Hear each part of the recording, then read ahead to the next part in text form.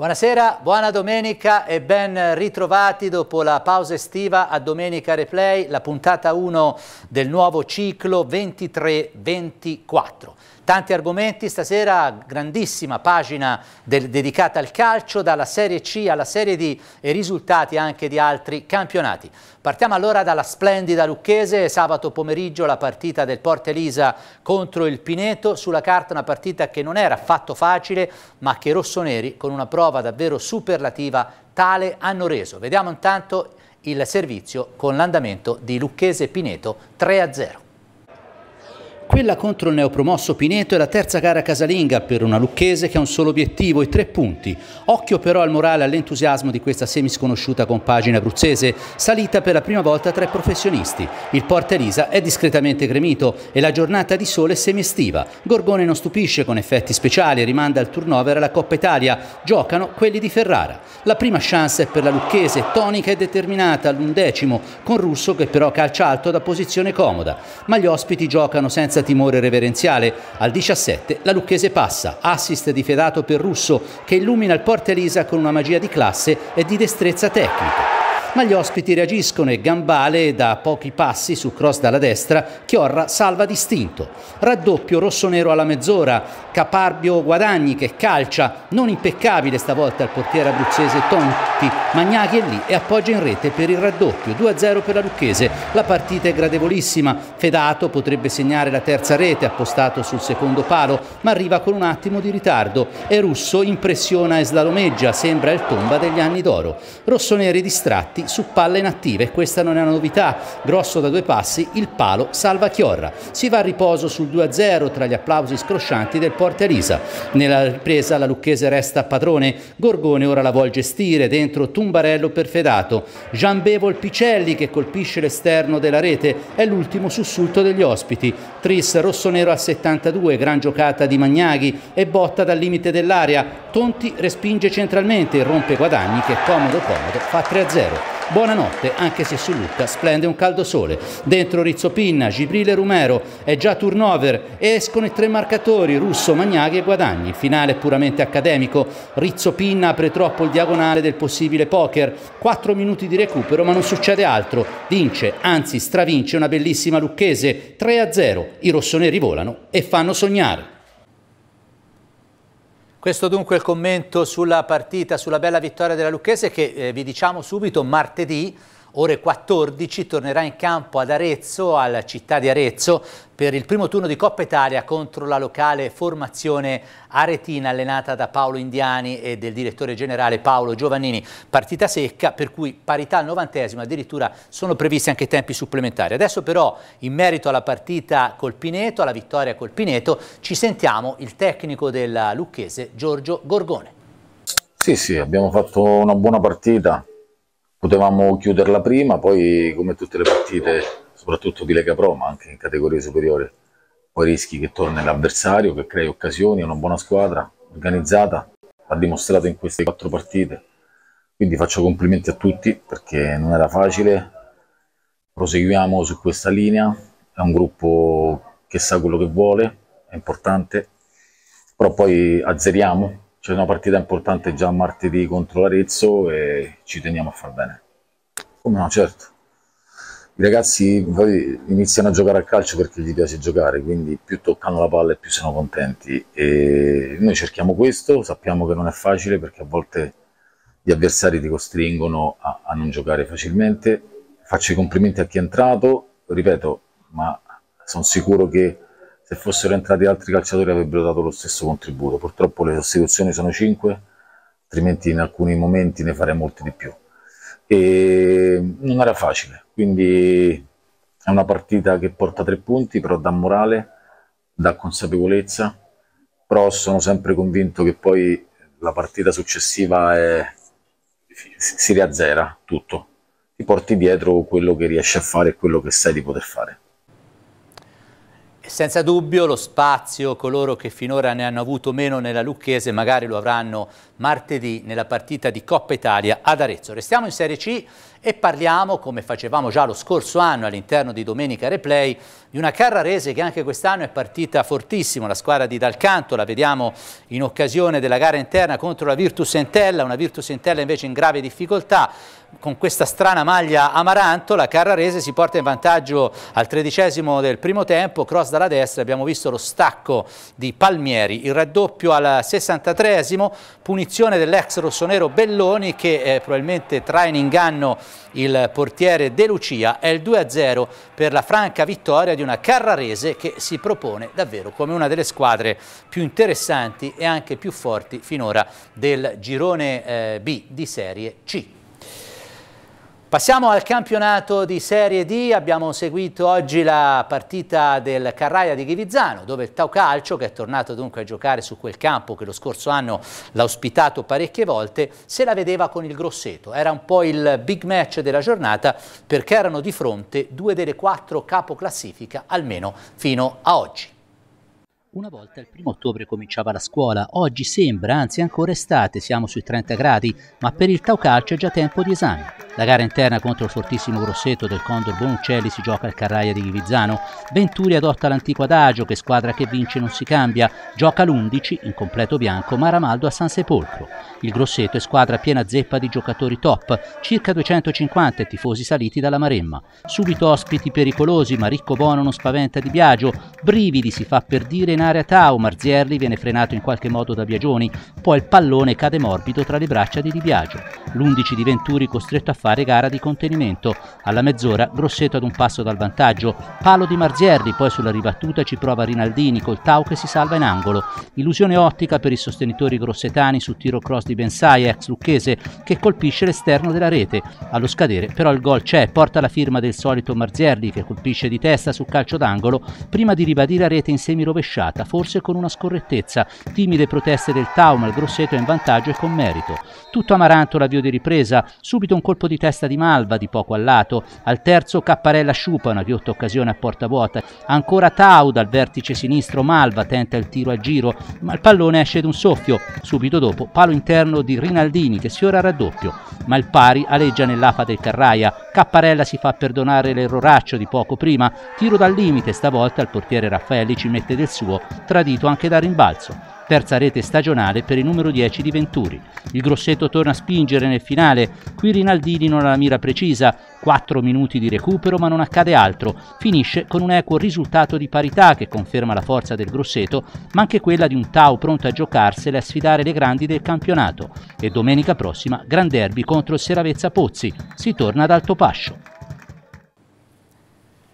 E adesso sentiamo anche in, questo, in, questi 92 secondi, per essere precisi, le impressioni dei due tecnici dopo Tao Grosseto, ovvero Simone Venturi e il Condor Vitaliano Bonuccelli. Abbiamo fatto una partita, una prestazione importante, abbiamo giocato meglio eh, del Grosseto, abbiamo creato più occasioni eh, e penso senza essere troppo di parte che è un risultato che ci sta un po' stretto anche perché il vantaggio loro mi è sembrato, poi lo rivedrò con calma, un netto fallo su Zini che l'arbitro non ha rilevato quindi mi è sembrato un ingiusto vantaggio che poi dopo siamo stati bravi a recuperare.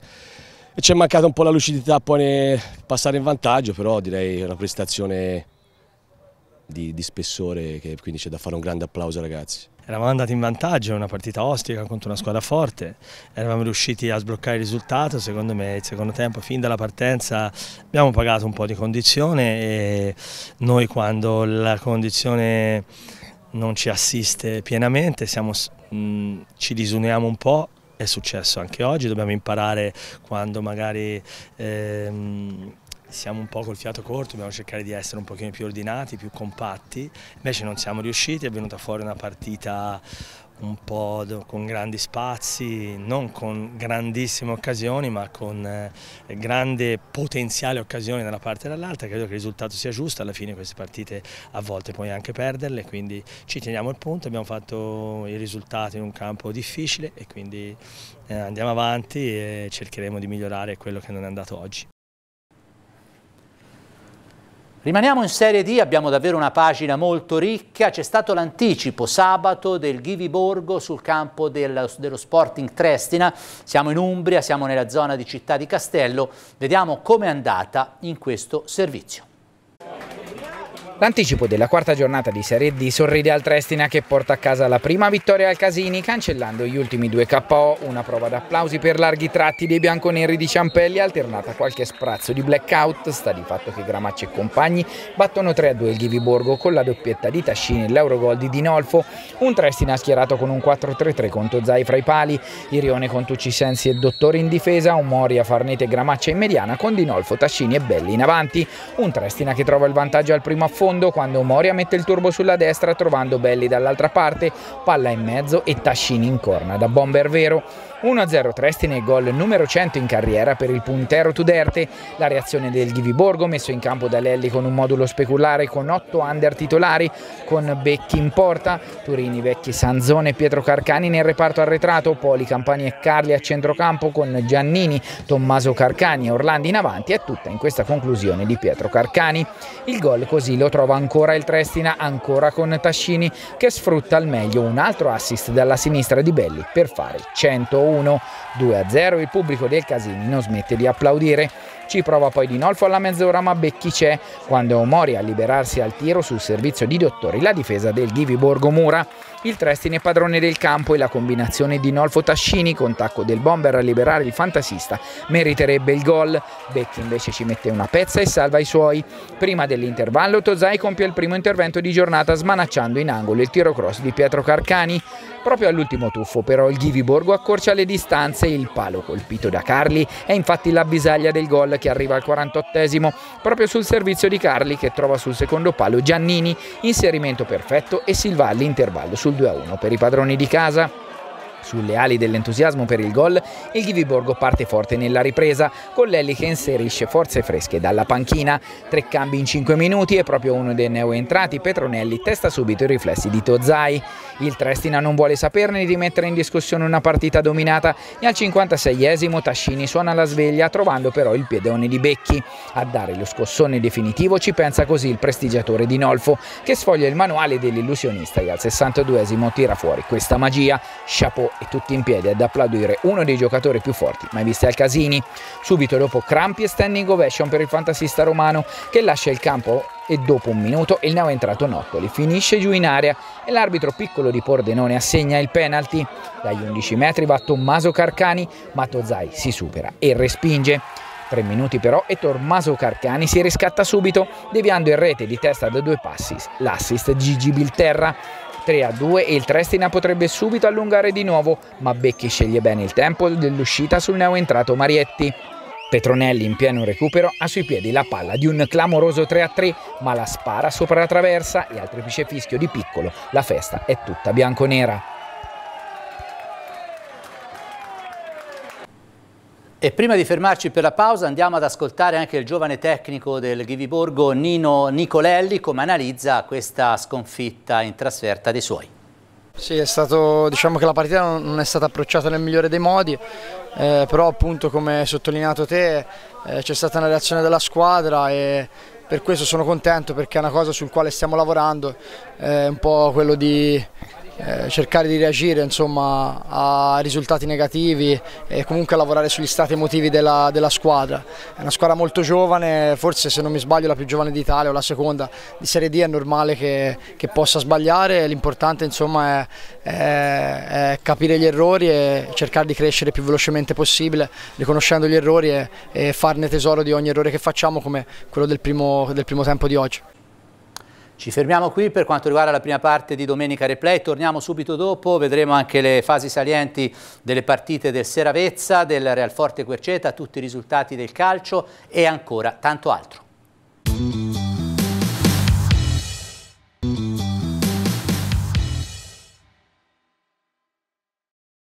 Eccoci tornati, vi avevamo promesso di parlare anche del, dell'andamento delle partite delle due Versiliesi. Cominciamo dal Seravezza Pozzi che giocava in casa al buon riposo contro eh, l'Orvietana, dunque un avversario umbro anche per la squadra eh, di eh, Amoroso. Vediamo nel, subito quindi la successione delle reti grandissimo gol al diciassettesimo del primo tempo del centrocampista Brian Bedini che porta in vantaggio i suoi. Il pareggio da lì a poco di eh, Ricci con questa gir mezza girata sporca, l'Orvietana ristabilisce la parità. Nella ripresa è Mannucci a portare in vantaggio i suoi con questo diagonale potente, con questa ripartenza e poi di nuovo l'Orvietana davvero indomabile che trova in mischia con Orchi il pareggio, il 2 a 2, ma nel finale Seravezza si riporta definitivamente avanti con questa altra bella rete di Brugognone.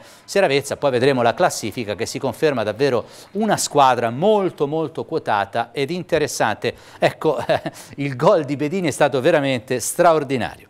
Trasferta invece per il Realforte Querceta che non possiamo dire sia partito altrettanto bene come la consorella versiliese, eh, trasferta Alfedini di San Giovanni Valdarno eh, per il Realforte, anche in questo caso abbiamo il servizio.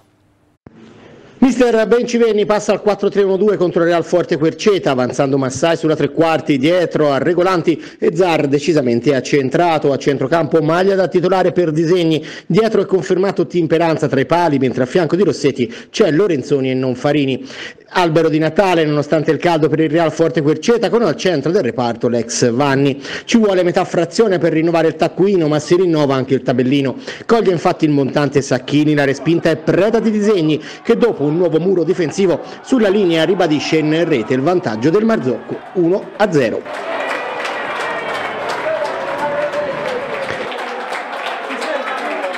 Non è comunque una frazione memorabile, si accende con singole fiammate, in Bucazar per Sacchini, purtroppo per lui la conclusione è rugbistica oltre la traversa.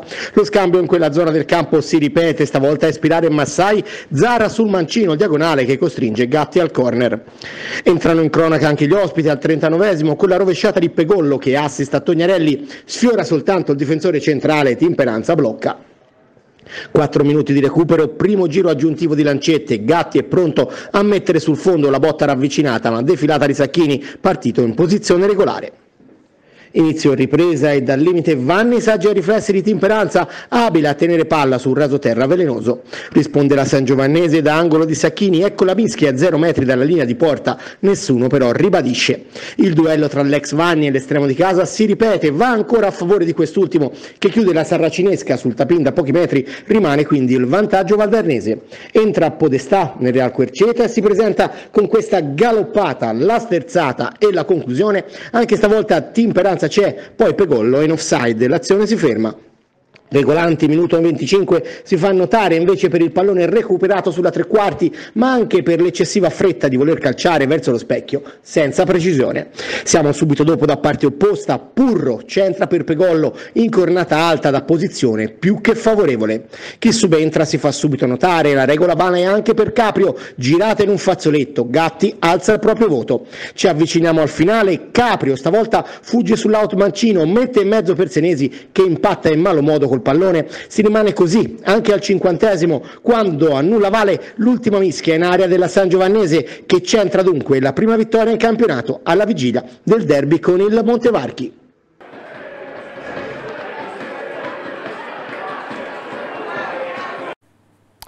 Panorama dunque molto ampio, quello dedicato alla Serie D all'interno di Domenica Replay. Adesso vediamo i risultati non solo della Serie D ma anche di eccellenza e promozione.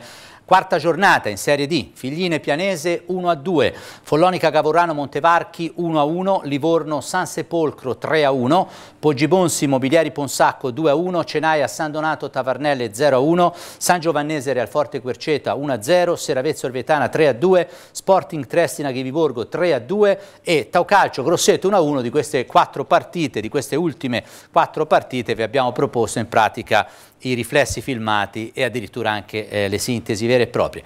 La classifica vede adesso il Livorno in testa solitario con 10 punti, Pianese e Seravezza 9, Taucalcio e Grosseto 8, Figline 7, Gavorrano, eh, Trestina, Poggibonsi e Ghiviborgo 6, San Donato Tavarnelle 5, Cenaia, San Giovannese 4, Montevarchi, Realforte Quercete e San Sepolcro 3, chiudono Orvietane e Mobiliari Ponsacco con un punto. Andiamo al campionato di eccellenza, quarta giornata di andata, Cuoiopelli Lanciotto Campi 3-0, Fratre Sperignano Geotermica 3-0, Massese Camaiore, questo era stato un anticipo del sabato 2-2, Montesperto Sporting Cecina 2-1, Prolivorno Ponte Bugianese 1-2, Tutto Cuoio Fucecchi 1-0, Valdinievole Montecatini Riverpieve 1-0, Zenit Prato Castel Fiorentino 1-0. La classifica vede in testa con 10 punti Fratre, Sperignano e Tutto Cuoio, Cuoiopelli, Montespertori 7, Ponte Bugianese, Camaiore, Valdinevole, Montecatini e Lanciotto Campi 6, Cecina, Fucecchio, Riverpieve 5, Zenit Prato 4, Massese 3, Castelfiorentino 2, Prolivorno e Geotermica 1 punto. Diamo uno sguardo anche a quello che è successo in eh, promozione. Qui eravamo alla uh, terza giornata con Alleanza Giovani, Lampo Meridien 0 a 1. L'Arcianese Castelnuovo Garfagnana 0 a 1. Intercomunale Monsummano Luco 0 a 0. Poi c'era il derby versiliese Grande rivincita del Viareggio che in settimana era stato eliminato dalla Coppa, che è andata a vincere 3-0 a Pietrasanta. Pieve Fosciana Casalguidi 1-3, Real Ceretese Pontremolese Lunigiana 2-2, San Piero Assieve Malisetti Seano 2-1, Settimello Viaccia 0-1. Questo è un girone dispari riposava al San Marco Avenza, quindi questo è un girone che quando eh, diamo la classifica dobbiamo considerare anche che ci sono squadre che magari hanno già riposato. Comunque San Piero Assieve, Lampo Meridien 9, Castelnuovo Viaccia e Casalguidi 6, Monsumano 5, Viareggio Cerretese e Lunigiana Pontremolese 4, Luco e Larcianese 3, Malisetti Siano 2, Alleanza Giovani eh, San Marco Avenza e Pietrasanta e Pieve Fosciana 1 punto, Settimello ancora a 0. Adesso parliamo delle altre discipline, partendo dal basket è cominciato il campionato di Serie B interregionale che vede, speriamo, eh, buona protagonista la squadra del Basketball Club Blu, che in realtà non è iniziata nel migliore dei modi, sabato sera sul campo al Pala Montana di Empoli, l'Use Empoli ha battuto nettamente la squadra lucchese col punteggio di 81 a 59. Da segnalare per la squadra di Coccio Olivieri 13 punti di Trentin, i 10 di Capitan Barsanti, era fuori per infortunio Barbieri, ma questo naturalmente non giustifica, al di là della forza della Use Empoli, una prova mh, mm, meno brillante rispetto a quello che era stato il precampionato mh, della squadra del presidente Benigni. Adesso riscatto per il Basketball Club Lucca passa dalla gara interna di domenica prossima alle 18 al Palatagliate contro l'Olimpia Legnaia. Inizierà invece nel prossimo fine settimana il campionato di B1 di pallavolo femminile che vedrà ai nastri di partenza la Nottolini Capannori. Nottolini che ha sostenuto nella serata di sabato l'ultimo test precampionato in un triangolare molto interessante che si è svolto a Firenze. Due sconfitte per la IMG Nottolini nel triangolare precampionato di Firenze. La squadra capanorese ha affrontato Castelfranco e Liberi e Forti, sciorinando una prestazione fatta di luce ed ombre. Il primo match ha visto la formazione di coach Mary Malucchi opposta alla corazzata Castelfranco, che non nasconde la volontà di recitare un ruolo da protagonista nel campionato di B1. Le pisane, guidate dall'ex azzurro Marco Bracci e nelle cui file milita la ex Nottolini Sofia Renieri, puntano dritte alla 2. La formula del torneo prevedeva partite su tre set. Castelfranco, che si è giudicato il triangolare superando 2-1 anche Firenze, ha vinto i primi due con un ridondante 25-23, che denota però quanto la squadra capanorese si sia battuta bene. E non a caso il terzo set se lo giudicavano Venturi e compagni 25-22, buona complessivamente la prova corale. Decisamente meno confortante la seconda partita contro Liberi e Forti Firenze, squadra ospitante, 3-0 per la compagine fiorentina di coach Guglielmo Pucci, anche qui una ex già da Pecucci Cucci, più determinate e coriacee, le padrone di casa, mentre la Nottolini ha fatto registrare un vistoso calo, quello su cui la coach Malucchi dovrà lavorare nei pochi giorni che mancano al campionato di B1, quindi massima concentrazione e attenzione alla fase di preparazione per il debutto casalingo di sabato prossimo 7 ottobre ore 21 contro l'Angelini Cesena. In un palapiaggia che si annuncia gremito e curioso di conoscere la nuova Nottolini, ci vorrà una squadra tonica e determinata per iniziare al meglio la stagione 23-24. Buone notizie dal mondo del pugilato, due medaglie d'argento per la pugilistica lucchese, tricolori under 22. Vediamo allora i due eh, piccoli eroi al centro della foto, vediamo Miria Rossetti Busa che ha conquistato l'argento nella categoria 48 kg, campionati italiani under 22 e quello al centro più alto è Ashraf Lekal, medaglia d'argento nei 71 kg. Ai lati i due maestri, a sinistra Giulio Monselesan, a destra il maestro emerito eh, Fancelli di Livorno. Eh, è un bel risultato, il maestro Monselesan si è detto soddisfatto di queste due medaglie d'argento, anche se Miria e Ashraf hanno perso la finale, peraltro contro due avversari fortissimi. Pensate che Erika Prisciandaro, che ha battuto Miria, è, è campionessa europea di categoria, e, e invece Gabriele Guidi Rontani, che ha battuto Ashraf, è solo vice campione europeo di categoria. Dunque due belle medaglie d'argento per due ragazzi molto giovani eh, che hanno fatto esperienza, un'esperienza che servirà loro nel futuro. Un bel risultato rimanendo al pugilato anche per la box Giuliano, sabato sera sul ring di massa, Karim Resegui ha conquistato il titolo di campione toscano categoria Youth 63 kg e mezzo. L'allievo di Matteo Minafra ha battuto Leonardo Garzelli dell'Accademia dello Sport di Livorno.